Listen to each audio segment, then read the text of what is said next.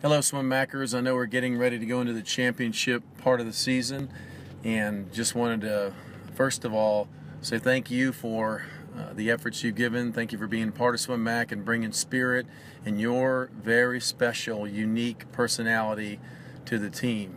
Uh, each and every one of you makes a difference, and I just want you to uh, know we appreciate you and we appreciate uh, what you have added to uh, the program and to this year.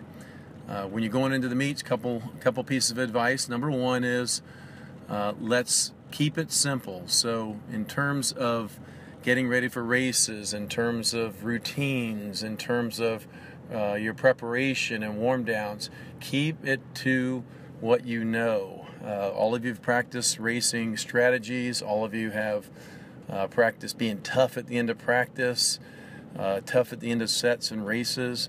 do that same thing uh, swim with efficiency. One of the beautiful things about SwimMAC is you guys have learned fantastic technique. Use that technique, especially the first half of the race, to carry you out. And then coming home, you can use more of your might, your will, your toughness, and win those close races like we do at SwimMAC. Uh, so keeping it simple is really important. Uh, I think you can do some fine tuning, like maybe a little bit better attention to hydration and nutrition, things like that. But for the most part, stay in a good routine of, uh, of what things have been like for you and just get rested up. Uh, additional sleep uh, can help you as well.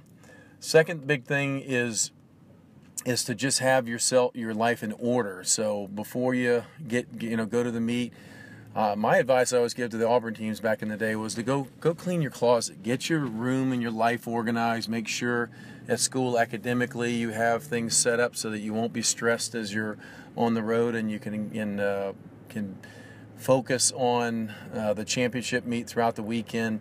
You know the meet is a uh, three and four day meets and they are uh, they require uh, kind of that endurance day after day and uh, the worst thing you can do is go in the first day and, and give your all and be uh, flat as a pancake the next two days, or to arrive uh, just hectic and chaotic and not able to get into the meet till the second or third day. So uh, that combination of having things in order before you get there, having your equipment, your shirts, your Mac gear, the gear you need for warming down, if you use fins to warm down or snorkels, things like that, make sure your name's on it, make sure you have it with you uh, so you can uh, have all those things ready to go.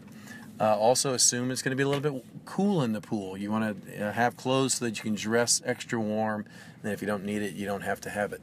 And then finally, I think the big thing also is just having fun. Uh, have fun with your teammates, have fun with your coaches, have fun with your families, and uh, keep things uh, light, keep things enjoyable. Uh, laughing is definitely something over the course of a weekend like this that will help you perform better. So there's going to be ups, there's going to be downs, there's going to be pain, there's going to be uh, moments of excitement, sharing your teammates' uh, exciting times. That'll bring you in as well.